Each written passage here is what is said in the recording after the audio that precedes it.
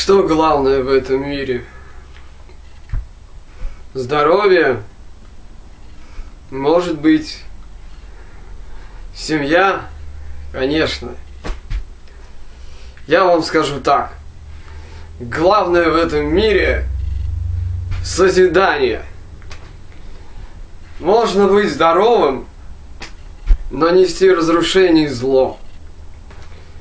Семья хорошо, но это путь к созиданию. Она нас этому учит.